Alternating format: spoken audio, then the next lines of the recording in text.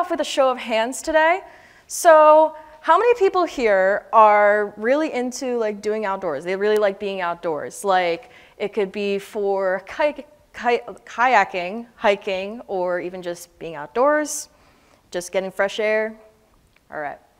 So I'm going to do one more show of hands. How many of you can confirm that after being outdoors, you guys have felt better afterwards?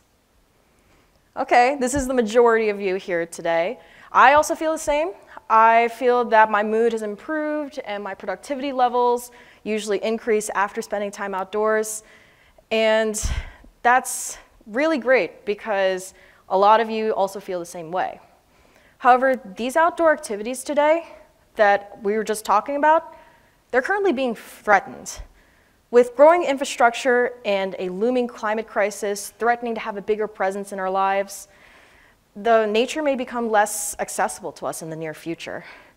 News headlines have been talking about weather disasters and talking about how grim outlooks are coming from recent climate research. And this is becoming the norm. So that's why we're here today. We're going to be talking about how news headlines are basically being negative, and they're supposed to be inspiring to us today but they're not. They're supposed to be covering how all of us should be going towards a sustainable future. And there are individuals and organizations out there who are working towards that sustainable future, and that's great. But there's a study from UC Berkeley, um, someone named Jill Suttie from the Greater Good magazine, and she talks about how being exposed to fear inducing stimuli over and over again with unsettling images streaming in from across the globe thanks to this modern technology, can make us feel helpless, which is not good for our personal well-being or just for society as a whole. These environmental initiatives aren't being covered enough, but instead they're being replaced with negative headlines and current events and all that's wrong with the world. And honestly, if we keep seeing that each and every day, it's going to be just affecting us and have negatively over time. It's just going to be going through our mental health, and that's not a great thing. I know that these effects have made themselves present on WVU's campus in the last spring in 2021. Rallies were organized in response to not so great mental health resources that are coming out.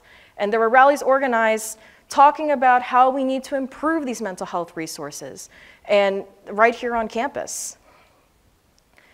They were saying that um, these mental health discussions were out there in social media and in Zoom town halls. And it's great because the university decided to respond to that. This fall 2021, they've addressed um, and initiated this Healthy Minds University, which addressed long-term mental health issues with students. On the other hand, environmental sustainability initiatives have also been coming to light on campus. Just this spring, in 2021, once again, um, WVU's Office of Sustainability started a STAR report, and it said that they earned a silver rating on campus in recognition for its sustainability achievements. This means there are ongoing sustainability initiatives on campus. It's great, because that means we can reduce waste and we can improve and conserve energy ultimately. So the university and other bodies of authority can keep making these initiatives for us.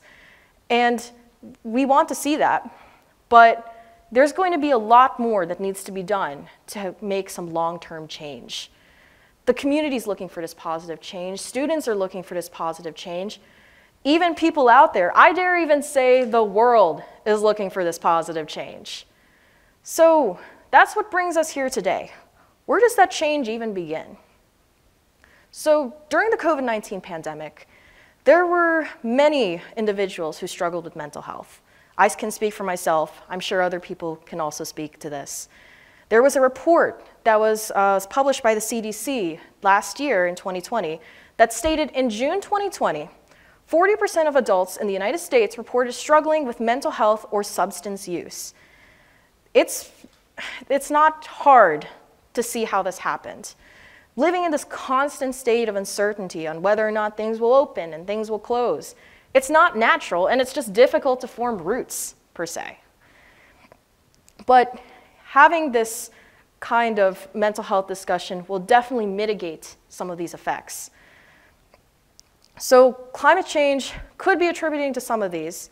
And as we are addressing these climate change um, research and have people addressing these issues, they should also be observing the mental health of the individuals in those areas who are also being affected the, the most by climate change. So the first thing we need to do is to acknowledge that mental health issues and environmental issues are more connected than we think they are. And there's actually a quote from the Yale School of the Environment studying this new field, connecting the two, called ecopsychology. And it connects the fields of the environment, the body, and the mind. So we're going to read a report from that. And it says that these studies have shown that time in nature, as long as people feel safe, it is an antidote for stress.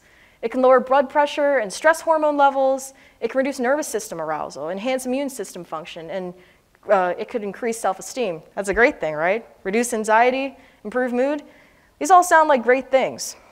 Another thing I wanted to point out from these quotes is look at the dates for all of the quotes I've printed out so far. So this was from 2020, also from 2020. This actually came out this year, 2018. So within the last five years, we have so many people researching and this growing body that acknowledging that mental health and environmental health are all connected. So how do we start acknowledging that? I know that one place to start is in our own workplaces or in schools. I know that companies and institutions commonly have like these green spaces that they can use, and they often go underutilized. One way to do it is to use it more. They uh, could use social events or they can host company events, weather permitting outdoors.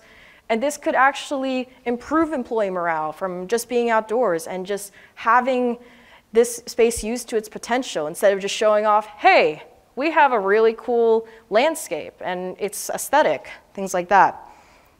So another thing I want to cover based off of these companies and these institutions who are having these green spaces is connecting the mental health. And we are social creatures by nature. So one way to show that is having so, um, social surroundings and natural surroundings acknowledged.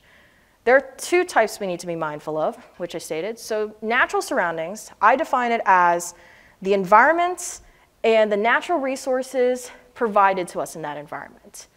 Social surroundings, on the other hand, it's a little more uncommonly known, but it's more covering the interactions that we have with ourselves, with other people, whether we have a tie to them or not.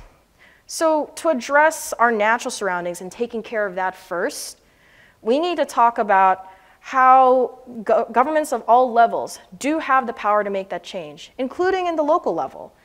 And the way that we could do that is just advocate for better mental health policies and better environmental health legislation.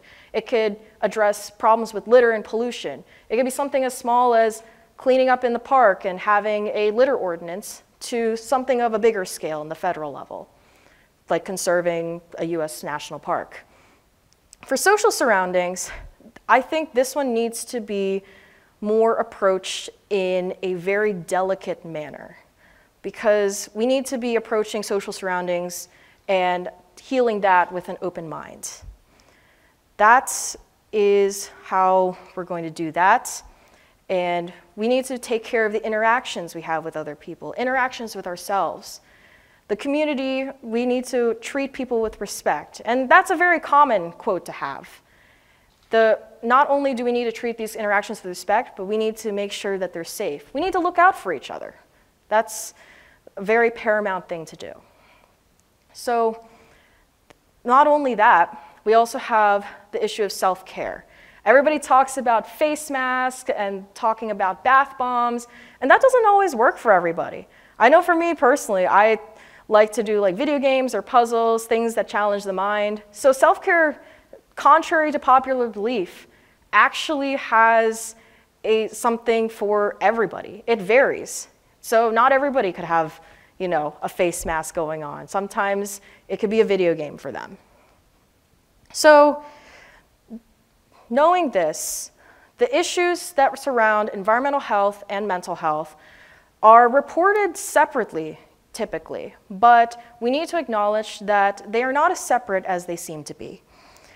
They are something that everybody needs to take responsibility for, something that we need to take care of in the environment and the mind, because if not us, who's going to do it?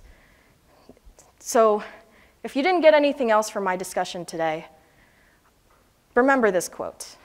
To improve our headspace, we need to act now to improve our green space, because ultimately, a clean environment will help foster clean minds.